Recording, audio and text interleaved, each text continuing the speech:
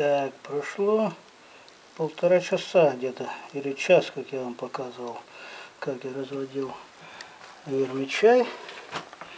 Здесь вот эти банки стоят и смотрим, что здесь у нас получилось.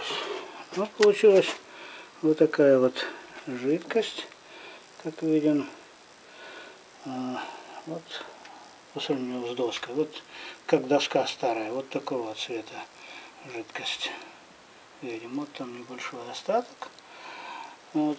Ну, можем отсюда исходить и знать, какие фильтрующие свойства имеет готовый высококачественный вермикомпост. Я думаю, что вы в качестве теперь не сомневаетесь, поскольку более чем за полгода здесь это все несколько раз было съедено, пропущено и даже не одним поколением дендробены.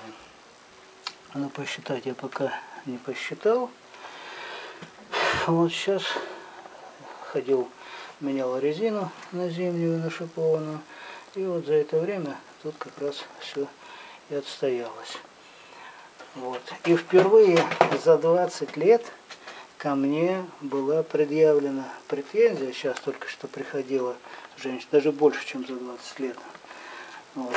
Я здесь оставил открытым вот ведро мусорное, которое крышку не закрыл и ушел на час.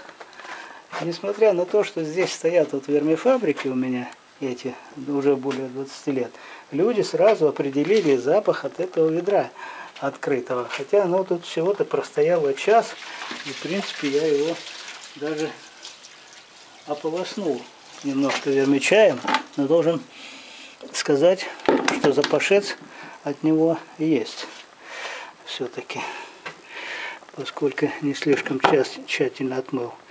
Так что мы сразу оценили сегодня несколько качеств вермичая, верми, вермикомпоста.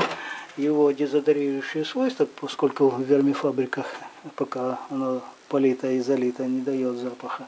И стоит только оставить вот на час ведро, и сразу же появляется запах. А вот женщина без меня тут приходила, я вот так все и оставлял, и она думала, что это все от моих вот, от этих коробок. Я ей дал понюхать коробки. Она убедилась, что из коробок не пахнет. Но ведро я уже ей не стал давать нюхать. Просто признался, в чем здесь дело. Показал ей всю обстановку, все рассказал. Ну и конфликт был исчерпан. А пока я ходил, за машиной, она уже сбегала на четвертый этаж к моей жене. Жена сказала, что это, наверное, от тех червей, которые Виктор 9 числа привез. Ну и отсюда вся эта демагогия пошла. Вот такие вот дела.